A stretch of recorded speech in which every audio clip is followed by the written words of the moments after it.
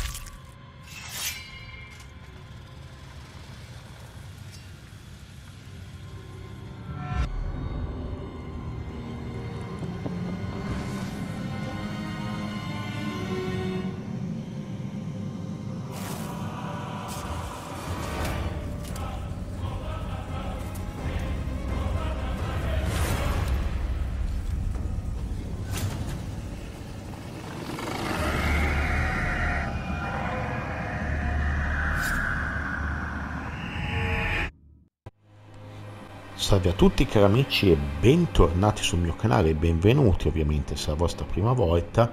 Come vi dico sempre in questi casi sono il vostro Siontro Silver e anche oggi vi porto un nuovo video in cui di Lords of the Fallen.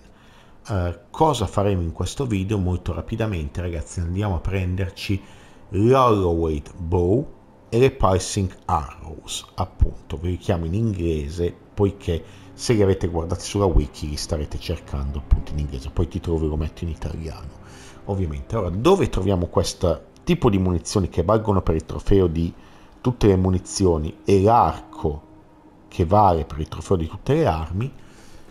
Prendiamo dal sonno celeste la nostra lanterna ci teletrasportiamo alla vestigia del tempio lo trovo uno dei punti migliori da usare quindi partiamo dalla vestigia del tempio.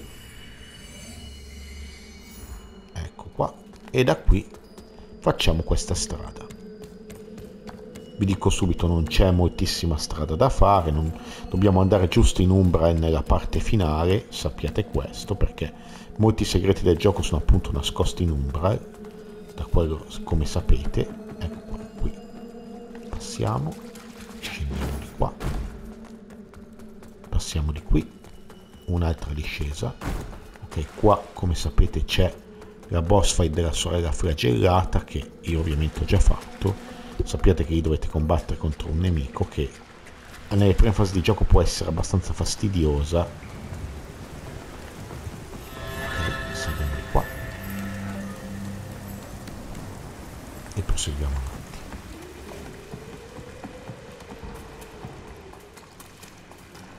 questa porta sarà chiusa ovviamente. La potrete aprire solo con la chiave del capitano Stormwood. Di qua. Pardon. Andiamo in si apre tutta una parte di strada come vedete. Attenzione al salto qui. Raccogliete ecco arco consacrato e frecce pulsanti. Adesso fatevi vedere questi tizi perché sennò qua la faccenda diventa serissima ed ecco qua e noi siamo pronti a tornare indietro qua dove potete anche piantare un semino. Quindi ragazzi, se questo video appunto vi è piaciuto, io vi chiedo come sempre e vi è servito di piazzare un pollice su, un like per supportare.